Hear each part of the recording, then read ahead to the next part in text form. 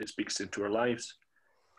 Lord, we pray that you would help us all here uh, now to listen to what it has to say to us.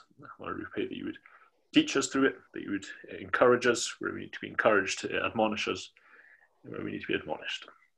Lord, we uh, thank you most of all for Jesus, uh, for the hope that we have because of him, um, as we shall see. Lord, it's in his wonderful name we pray. Amen. Amen. Um, so, I'm just going to go and turn the big light on because I can't read my Bible. I'll be back in a second.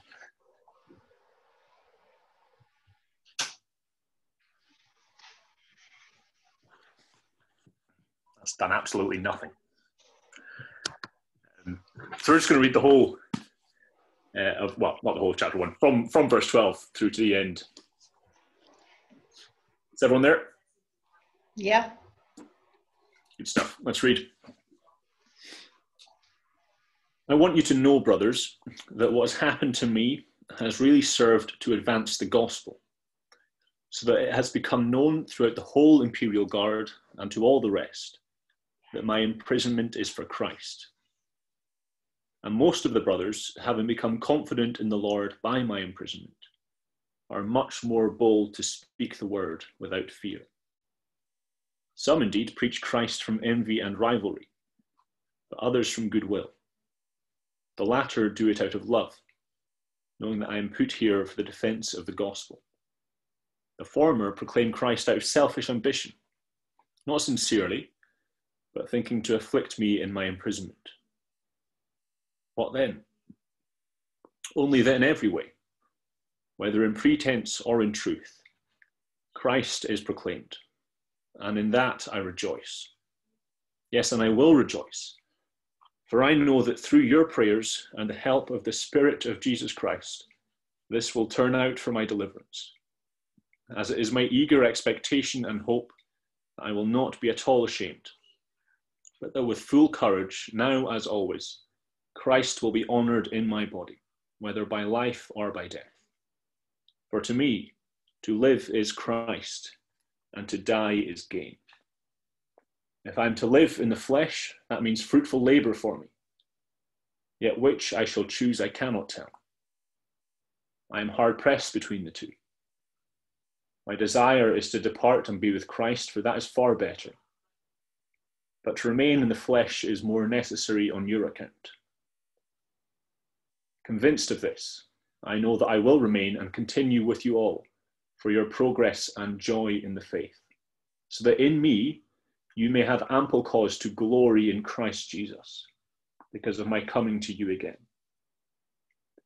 Only let your manner of life be worthy of the gospel of Christ, so that whether I come and see you or am absent, I may hear of you, that you are standing firm in one spirit, with one mind, striving side by side for the faith of the gospel, and not frightened in anything by your opponents. This is a clear sign to them of their destruction but of your salvation, and that from God. For it has been granted to you that for the sake of Christ you should not only believe in him, but also suffer for his sake, engaged in the same conflict that you saw I had, and now hear that I still have. Amen. Um, so, if you remember uh, a couple of weeks ago, Paul uh, opened this letter with his sort of prayer uh, of thankfulness and general encouragement uh, to the Philippians in the opening verses. Uh, Paul was sort of uh, exhorting and praying that the believers in Philippi w- would continue uh, as they have begun in the faith. But when we come to verse 12, Paul, Paul turns the focus upon himself, right? Not, not in any sort of narcissistic way um, quite the opposite, as we'll see. But it's, it's evident from Paul's words in these opening verses um, that his brothers and sisters in Philippi, certainly, and likely around the Mediterranean, were worried about. Uh, they were worried about Paul. Why were they worried? Because Paul had been taken to Rome as a prisoner. Right, the, sort of the frontline missionary in the early Christian world. That the faithful apostle had been arrested by the state and was sitting in chains, waiting to what would have seemed most likely at the time face his death for his faith. And in the early days of the church, right, you can imagine the, the doubt and fear this would have caused across the early church. That they would have heard these reports of, of Paul's fate and feared for their own safety, wondered about their future, um, would have been wondering what, why God wouldn't protect Paul from this. Right? Surely his, his tireless service for his Savior would have protected him from such suffering. They would have had worries and doubts, fears and questions. If this can happen to Paul, why not to us? If Paul's suffering like this, despite how obedient he is, how much worse might it be for us? And so Paul basically writes the Philippians, and the big thing he's saying is do not worry. Because Paul is so aware, and he wants his audience to be as aware as he is, that everything that is happening to him is happening to advance the gospel. It isn't happening because he's being punished. He isn't in prison because the Roman Empire is, is more powerful than Jesus. The reason he is where he is, the reason he has endured the trials and the suffering that he has, is so that the gospel might be advanced. Paul knows why he's going through all this. Um, Paul wants to make sure his readers know this too. That this isn't a mistake, uh, this isn't a failure for the gospel. Paul's saying, Don't worry about me, worry about the gospel. And where I am is the best thing for the gospel. And now the obvious question uh, the Philippians would have had when they heard this is, is how? Right? How can the imprisonment of this veteran church planter possibly be a good thing for the gospel? And Paul answers that very question in the next verses, in verse 13 and 14, but with two separate things. Right? There's two reasons why this is a good thing for the kingdom of God. First of all, Paul's imprisonment, uh, his failure by any worldly standard, has meant that the gospel's been spread through the whole uh, imperial guard, it says in the ESV. Um, now, the imperial guard were they, they, were the guards who would have gone in in and out of like the, the emperor's courts. Uh, it's the equivalent of I don't know if they have an official name. Those people outside Buckingham Palace with the funny hats. Do they have a name? I don't know. You know who I mean. These were people who had access to, to places that no one else did right? Somewhere that Paul, had he visited Rome as just an ordinary citizen, wouldn't have been able to get a word. There's no way he would have been able to, to share the gospel in this place. And yet, because he is there as a prisoner, he has been able to explain and live out the gospel day in, day out, before the very people who were going in and out before the emperor himself. Only by being there in chains was the gospel able to reach the places it was reaching. This wasn't a mistake or a failure, this was part of God's sovereign plan. What was happening to Paul was happening to advance the gospel. That's the first way. The second way is that we see there in verse 14 that brothers and sisters are becoming emboldened by what has happened to Paul right? They're becoming more bold in their own proclamation of the gospel because they see what's happened uh, to Paul in prison. And the obvious question again is how, right? That seems almost back to front. Um, surely seeing Paul being in prison would make everyone kind of on edge and they'd worry the same thing was going to happen to them. But it's Paul's joy and steadfastness in the midst of this that, that encourages, is, um, emboldens others right? And should encourage us too. Because in Paul, in this situation, we see that there's nothing this world can throw at us that can take away from the joy and peace that we have in Christ. before Paul was in prison, people uh, might have worried about the consequences, uh, worried about uh, what might happen to them if they were persecuted for their faith. But seeing Paul's example, brothers and sisters are, are reassured that e- even if they get chained up for years on end, even if they, they face death, they see that they can never be separated from the joy of the Lord. That they will never be in a place where they cannot continue to share the gospel and glorify Jesus. Right? There's an encouragement for us this evening.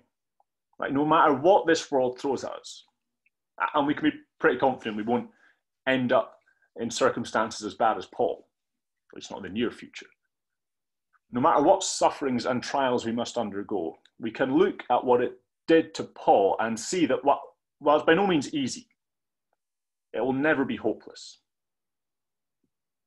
We can never be in a place where we cannot continue to serve God. We can never be in a place where the joy and the peace the gospel gives us will be taken away. So, so long as our eyes are fixed firmly on Jesus, on his plan, on his glory, nothing that happens to us can stop the advancement of the gospel. So Paul knows and wants his readers to know uh, that what is happening to him is still serving the gospel. He is still doing God's work, and this is still part of God's plan. But we see in verses 15 to 17 that he, he isn't ignorant um, of how this has been done. Of those that have become more bold because of Paul's imprisonment, they, they fall into two categories, again, as we see in those verses. There are those, first of all, who are preaching the gospel out of envy and deceit, and there are those who are preaching the gospel out of love. That first group, there are people who are preaching the gospel.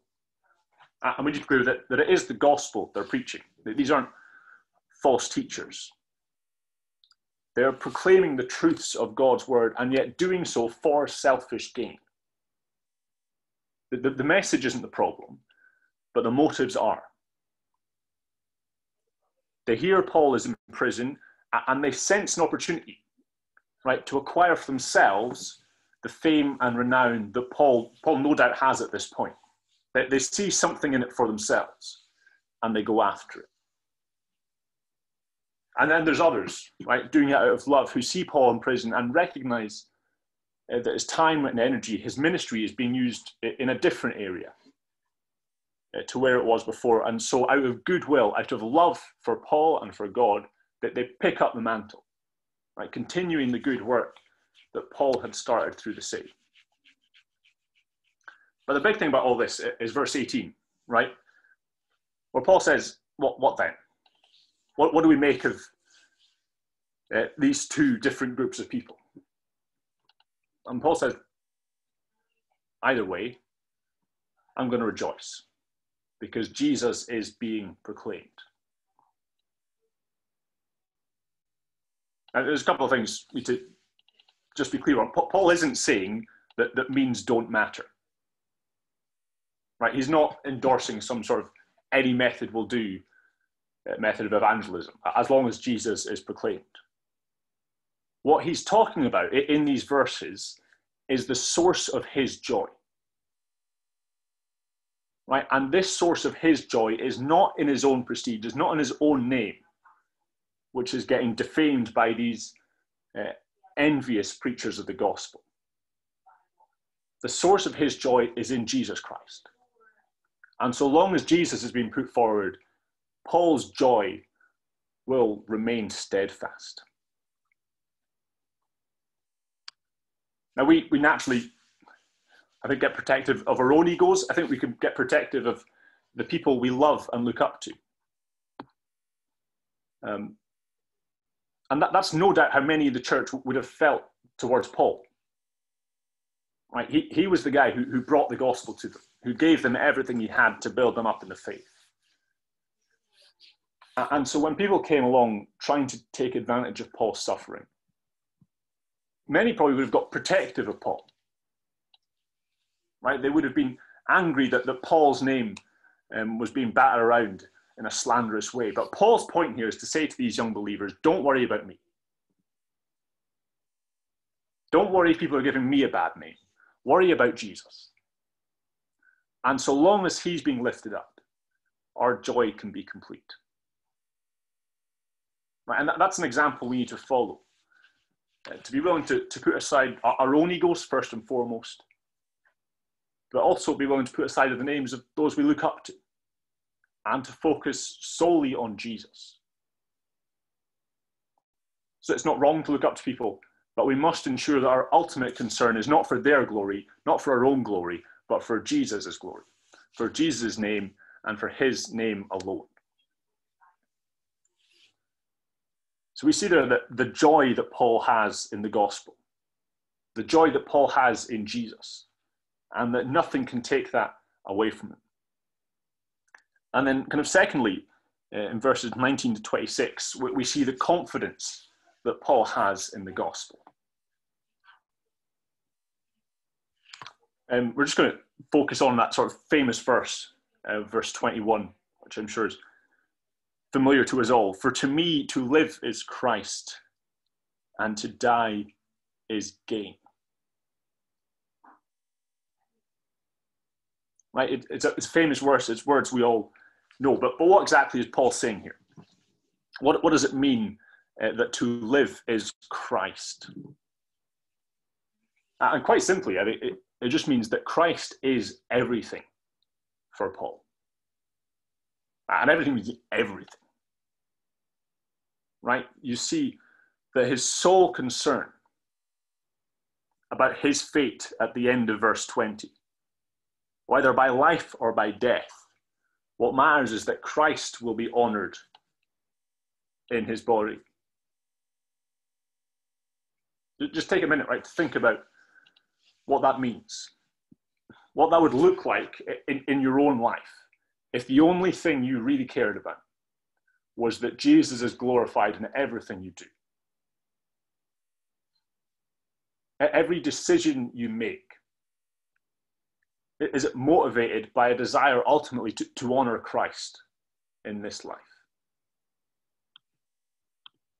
I mean, we, we so often, I do things for for, for short term comforts, for fleeting pleasures.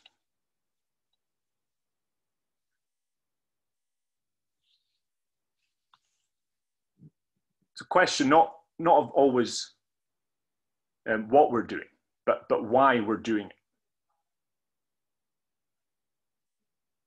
But when we get out of bed in the morning, when we go to work, when you're looking after the kids, when we sit down for breakfast or dinner, when we relax in the evenings, what, what, what are we working towards? Where, where are we hoping that that will end up? where, where is our end goal?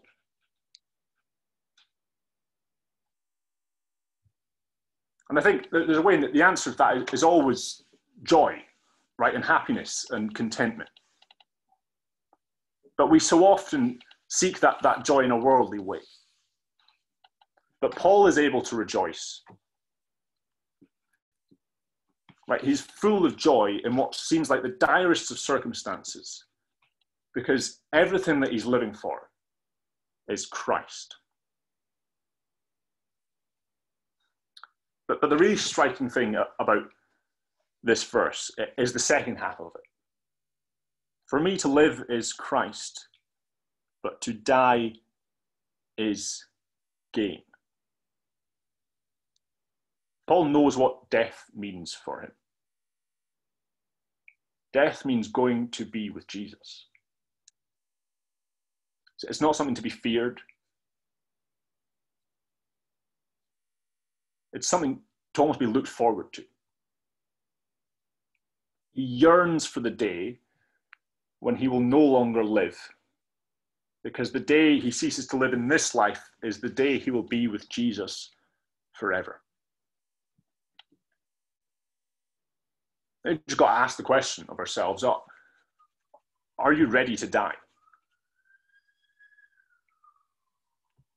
Uh, it's not wrong to, to fear the means by which we might die, right, which in our fallen world is, is a painful thing. But if we fear what death will bring, then we do not understand the gospel. if we are not excited about what death will bring, we do not understand the gospel. If you dread the day that you die, then I think we've got to say that for us to live is not Christ. Because if we are truly living for Christ, we look forward with very eager expectation to the day we no longer have to endure this sinful world, but be with Christ forevermore. For Paul, and hopefully for us, that is far better.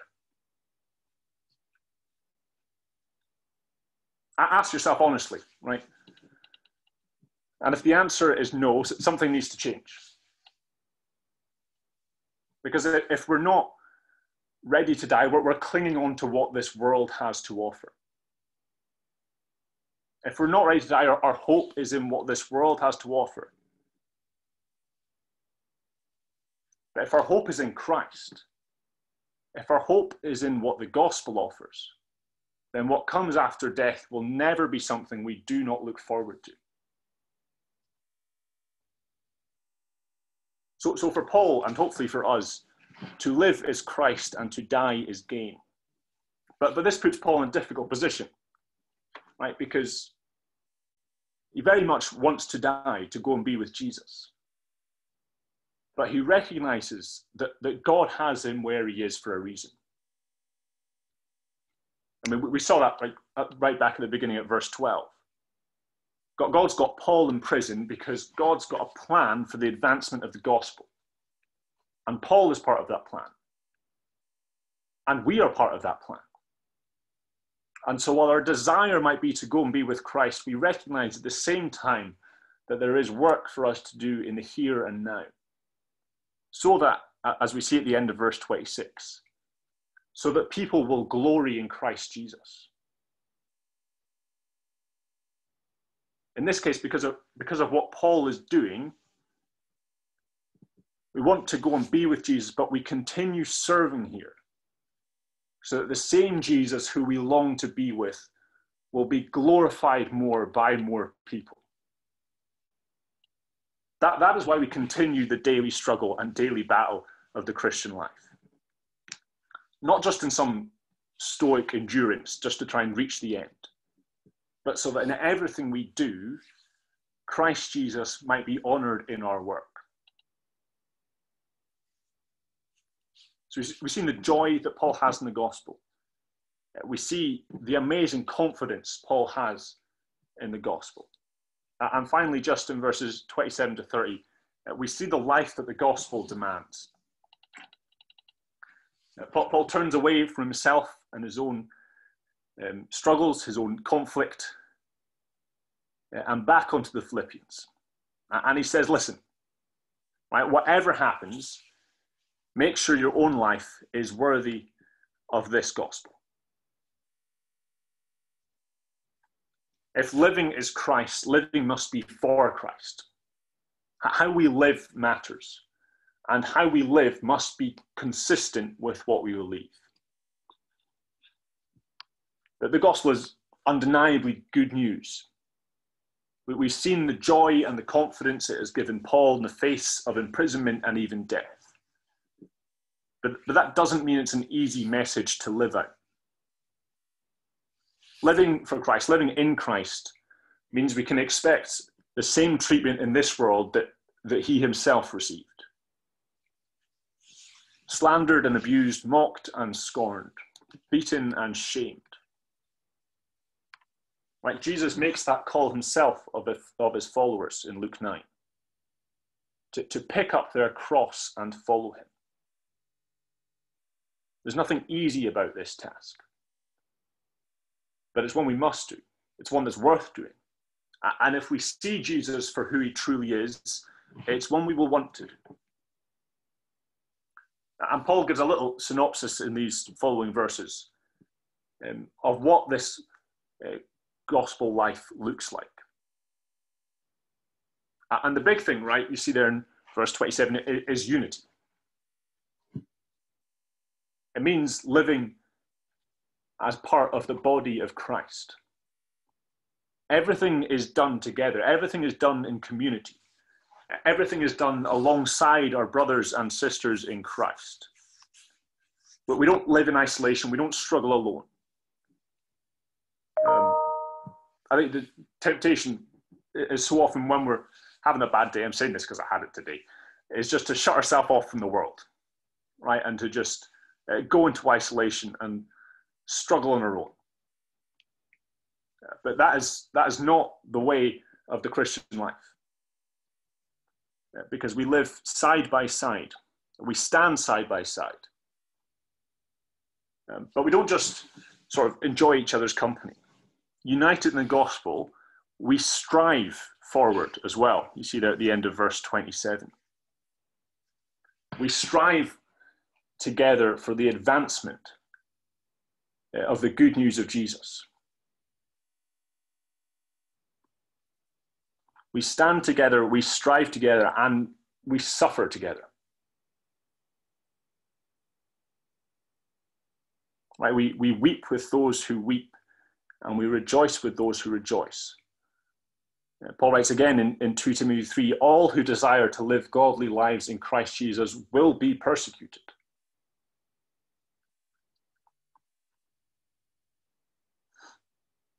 The call to the Christian life uh, is by no means an easy one. But like Paul, in the midst of those sufferings, uh, as we are suffering together, right, we, we rejoice in Christ. We continue to hold on to Him as our hope. Uh, the suffering that we are to expect doesn't mean it's a good thing, it doesn't mean it's something we're to look forward to. But it is something we should expect. And it is something that when it comes, uh, we must know that, it, that it's still part of God's bigger plan. Just, just as Paul did right at the start um, of today's passage. He's in a miserable situation, but he knows that this is all still working for the glory of Jesus. we should expect suffering in the Christian life. And it's important that we're aware of that because the, the other the danger then is that um, we end up assuming that suffering is, is necessarily some kind of punishment or something. But just you just remind ourselves of the situation that Paul is in. Um, James Montgomery Boice says of Paul, Paul's suffering is neither corrective nor instructive. It was simply a suffering permitted by God so that the gospel might be spread to others. It's not something we look forward to, but God knows what He's doing. Suffering for the sake of the gospel is something Christ went through. It's something Paul went through.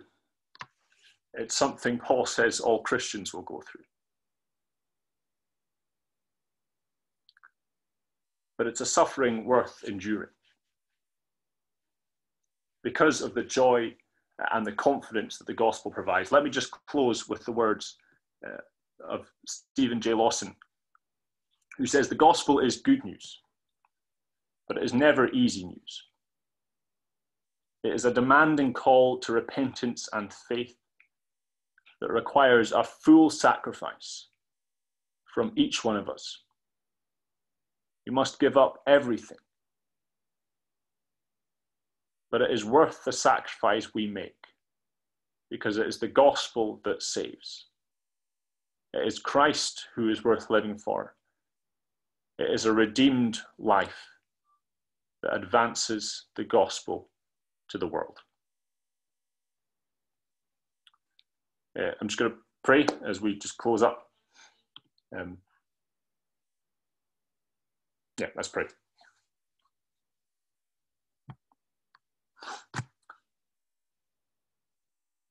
Father, we